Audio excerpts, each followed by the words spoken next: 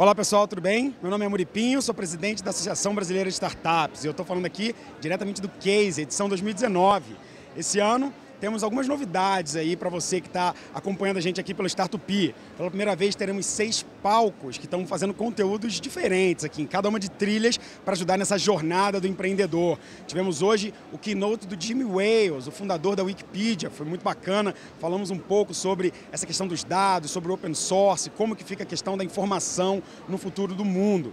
Temos mais de 200 palestrantes e uma feira que está superando todas as expectativas. Assim. Pela primeira vez a gente tem excelente excelentes patrocinadores em conjunto com startups, na feira de startups que a gente não tinha antes. É a primeira vez que a gente tem isso no case também. A parte interessante é que a plenária também está mudando um pouco de lugar. Ela fica no meio do evento, então quem passa entre os, os, os palcos e as plenárias, né, e quem passa entre a área da feira, consegue ver de sobre aviso ali um pouco do conteúdo que está rolando também no palco principal.